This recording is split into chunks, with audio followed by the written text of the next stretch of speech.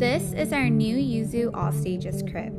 It has an 8 in 1 convertibility, which means it will grow with your baby from when they're a newborn up to when they're 5 years old. It transitions through four main stages and every little stage in between for eight total configurations. The four main stages are the bassinet, midi, standard full size crib, and the.